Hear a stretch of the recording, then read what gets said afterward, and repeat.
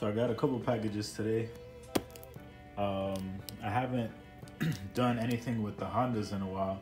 I know you. I've been busy like just shooting videos of the G35 and stuff, but I still got the $500 Honda like race car build, and this came for it, and then this is from Lazy Man Garage.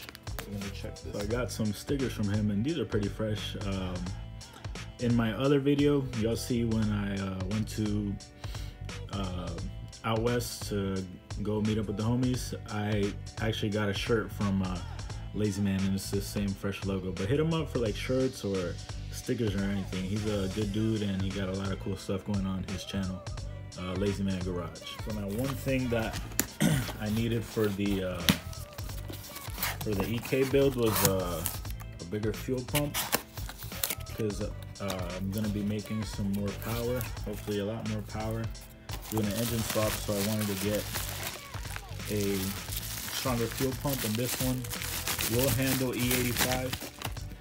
And this fuel pump is uh, Kemso, and it's only like 30 bucks but I know a lot of people they're scared to like use a cheap fuel pump or like fuel injectors and stuff like that but this fuel pump has had a lot of good reviews. A lot of people um, have ran it in their cars. Personally I have friends that uh, are running it in their turbo cars. I know um, Ron he he actually put me onto this fuel pump. He's running it in his uh, turbo K series car and it works without a problem. Um, so basically comes with everything you need, the little filter and well, two filters there. Then whatever to wire it up here, but uh, and this little loom to protect it, this hose right here. But it's a super, gonna be a super simple install. I already have the old fuel pump removed. I I removed it a long time ago because I I uh, I gave it to um, what's his name? Oh, I gave it to somebody. I forget who I gave it to. They needed a fuel pump for their car, and I I was gonna upgrade anyway, so I figured I might as well just give that one away. And um, yep, I'm not expecting really any problems with this It's gonna be a simple swap. I can show you guys, you know, how to put it together I'll, when I do put it in. But it's gonna be pretty simple and yeah, I'm another step closer of, of getting this car put together.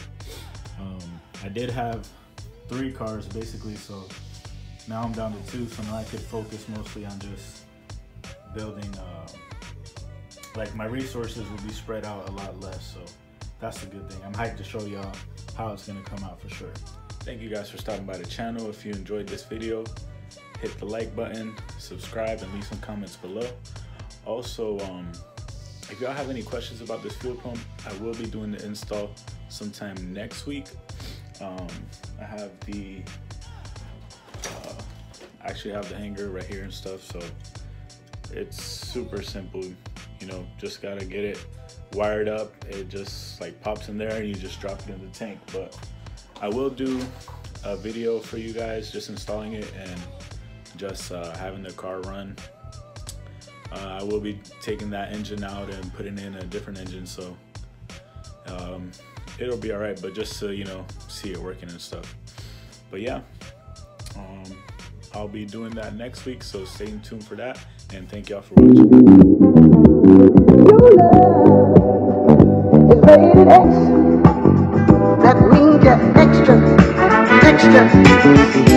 Extra!